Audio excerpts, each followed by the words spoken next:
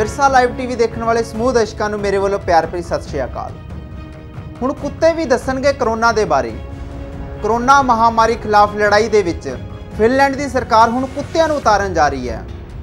Helsinki university ਦੇ ਖੋਜਕਰਤਾਵਾਂ ਅਨੁਸਾਰ ਹੁਣ ਕੁੱਤਿਆਂ ਨੂੰ ਟ੍ਰੇਨਿੰਗ ਦਿੱਤੀ ਜਾ ਰਹੀ ਹੈ ਤੇ ਉਹ ਸੁੰਘ ਕੇ ਕਰੋਨਾ ਵਾਇਰਸ ਦਾ ਪਤਾ ਲਗਾਉਣਗੇ। ਮੌਜੂਦਾ ਸਮੇਂ ਵਿੱਚ ਖੂਨ ਤੇ ਸਵੈਬ ਦੀ ਜਾਂਚ ਨਾਲ ਕੋਵਿਡ-19 ਦਾ ਪਤਾ ਲਗਾਇਆ ਜਾ ਰਿਹਾ ਹੈ। ਮੀਡੀਆ ਵਿੱਚ ਆ ਰਹੀ ਖਬਰਾਂ ਮੁਤਾਬਿਕ ਫਿਨਲੈਂਡ ਦੇ ਖੋਜਕਰਤਾਵਾਂ ਨੇ ਕਰੋਨਾ ਵਾਇਰਸ ਪੀੜਤ ਮਰੀਜ਼ਾਂ ਦੇ ਯੂਰੇਨ ਦੇ ਨਮੂਨੇ ਤੋਂ ਕੁੱਤਿਆਂ ਨੂੰ ਕੋਵਿਡ-19 ਵਾਇਰਸ ਦੀ ਪਛਾਣ ਦੀ ਟ੍ਰੇਨਿੰਗ ਦਿੱਤੀ ਗਈ ਹੈ।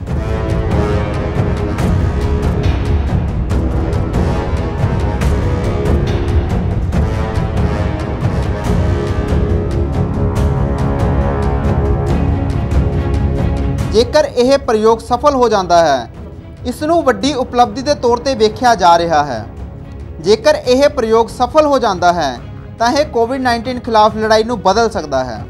ਇਸ ਖੋਜ ਨਾਲ ਜੁੜੀ ਅੰਨਾ ਹੇਲਮ ਬਿਜ਼ੋਰਕਮੈਨ ਨੇ ਕਿਹਾ, ਇਹ ਖੋਜ ਸਾਡੀ ਉਮੀਦ ਤੋਂ ਬਿਹਤਰ ਰਹੀ। ਕੁੱਤਿਆਂ ਨੇ ਪਹਿਲਾਂ ਕੈਂਸਰ ਅਤੇ ਹੋਰ ਬਿਮਾਰੀਆਂ ਦੀ ਪਛਾਣ ਕੀਤੀ ਹੈ।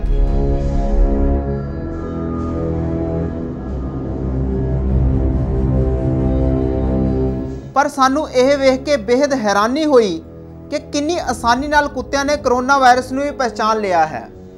ਬਜ਼ੁਰਗਮੈਨ ਨੇ ਦਾਅਵਾ ਕੀਤਾ ਹੈ ਕਿ ਜਦੋਂ ਕਰੋਨਾ ਵਾਇਰਸ ਨਾਲ ਇਨਫੈਕਟਡ ਖੂਨ ਦੇ ਨਮੂਨਿਆਂ ਨੂੰ ਚਾਰ ਗੈਰ ਕਰੋਨਾ ਵਾਇਰਸ ਨਮੂਨਿਆਂ ਨਾਲ ਰੱਖਿਆ ਗਿਆ, ਤਾਂ ਕੁੱਤਿਆਂ ਨੇ ਇਨਫੈਕਟਡ ਨਮੂਨਿਆਂ ਦੀ ਬੇहद ਆਸਾਨੀ ਨਾਲ ਪਛਾਣ ਕਰ ਲਈ।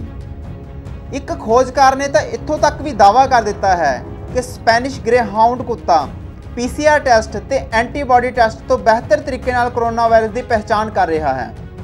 ਇਸ ਖੋਜ ਦੇ ਸਾਹਮਣੇ ਆਉਣ ਤੋਂ ਬਾਅਦ ਦੁਨੀਆ ਭਰ ਤੋਂ ਇਸ ਦੇ ਬਾਰੇ ਵਿੱਚ ਪੁੱਛਗਿੱਛ ਕੀਤੀ ਜਾ ਰਹੀ ਹੈ।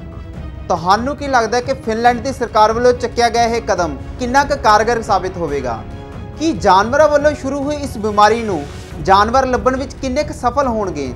ਤੁਹਾਡੇ ਇਸ ਸੰਬੰਧੀ ਕੀ ਵਿਚਾਰ ਹਨ? ਕਮੈਂਟ ਬਾਕਸ ਵਿੱਚ ਜ਼ਰੂਰ ਦੱਸਿਓ। ਦੇਖਦੇ ਰਹੋ ਵਿਰਸਾ ਲਾਈਵ ਟੀਵੀ ਤੇ ਮੈਨੂੰ ਦਿਓ ਇਜਾਜ਼ਤ। ਸਤਿ ਸ਼੍ਰੀ ਅਕਾਲ।